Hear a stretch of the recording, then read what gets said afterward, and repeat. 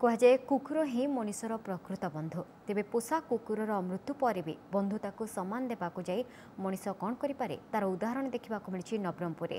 ସ୍ଥାନୀୟ ରାମରମଣ ନିଜର ଅପୋଷା କୁକୁର ଚନ୍ଦୁର ମୃତ୍ୟୁ ପରେ କ୍ରିୟାକର୍ମ କରିବା ଏବେ ସ୍ଥାନୀୟ ଅଞ୍ଚଳରେ ଚର୍ଚ୍ଚାର ବିଷୟ ହୋଇଛି।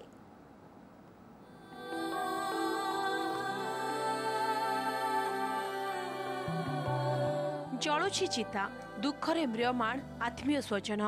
ମୁଖାଗ୍ନି ଦେବାବେଳେ କୋହ ସମ୍ଭାଳି ପାରୁନାହାନ୍ତି ରାମଚରଣ ପଣ୍ଡା ଚନ୍ଦୁର ମୃତ୍ୟୁ ପରେ ପଣ୍ଡା ପରିବାରରେ ଏଭଳି ଚିତ୍ର ମୃତ୍ୟୁ ପରେ ଚନ୍ଦୁର ସଂସ୍କାର ପାଇଁ ଆରମ୍ଭ ହୋଇଥିଲା ପ୍ରସ୍ତୁତି ଦାହ ପାଇଁ ଆବଶ୍ୟକୀୟ କାଠ ଯୋଗାଡ଼ କରିବା ପରେ ଚନ୍ଦୁକୁ ଶେଷ ଶଯ୍ୟାରେ ଶୁଆଇ ଦେଇଥିଲେ ତାର ନିଜ ଲୋକ ନବରଙ୍ଗପୁରର ରାମରମଣ ପଣ୍ଡାଙ୍କ ପରିବାରର ଏକ ଖାସ୍ ସଦସ୍ୟ ଥିଲା ଡୋବରମ୍ୟାନ୍ ଚନ୍ଦୁ।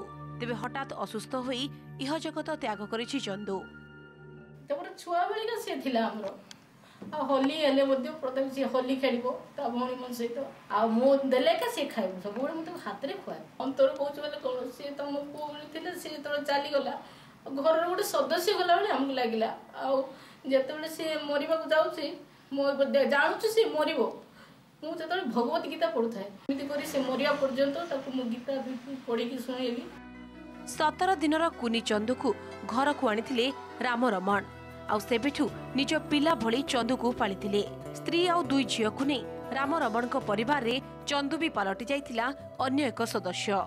ଏପରିକି ରାମରମଣଙ୍କ ଦୁଇ ଝିଅ ମଧ୍ୟ ରାକ୍ଷୀ ପୂର୍ଣ୍ଣିମାରେ ଚନ୍ଦୁକୁ ରାକ୍ଷୀ ବାନ୍ଧୁଥିଲେ। ଚନ୍ଦୁ କଥା କହିପାରୁନଥିଲା ସତ ହେଲେ ପଣ୍ଡା ପରିବାର ଲୋକେ ଅତି ସହଜରେ ବୁଝିପାରୁଥିଲେ ଚନ୍ଦୁର ଭାବନାକୁ। ମୁରବୀଙ୍କ ଅନୁପସ୍ଥିତିରେ ପିଲାଙ୍କ ରକ୍ଷକ ବି ସାଜୁଥିଲା ଚନ୍ଦୁ। ସମସ୍ତେ ପଚାରନ୍ତି ଆପଣଙ୍କର ପିଲା ଛୁଆ କେତେ? ମୁଁ ସବୁଥିପାଇଁ ମୋର ଦୁଇଟା ଝିଅ। ଗୋଟେ ପୁଅ। ତାର ସିଏ ଟୋଟାଲି ବ୍ରାହ୍ମୀଣ ପରିବାର ଜାଗାରେ ଯେମିତି ଆଡଜଷ୍ଟ ହେବାର ସେମିତି ପୂଜା ପାଠ ହେଲେ ସେମିତି ଅଲଗା ବଟ୍ ଏଭ୍ରିଥିଙ୍ଗ ତା ପାଇଁ ସେଟଅପ୍ ପୁରା ଅଲଗା କରିଦେଇଥିଲୁ। ସେ ରହିବା ତାର ଖଟ ଆପଣ ଦେଖିଥିବେ ଏଭ୍ରିଥିଙ୍ଗ ସେଟଅପ୍ ତା ପାଇଁ ଅଲଗା। ସେ ପୁରା ଘରର ସଦସ୍ୟ। ଆମେ ତାକୁ କେବେ ଭାବିନୁ ସେ ଇଜ୍ ଡଗ୍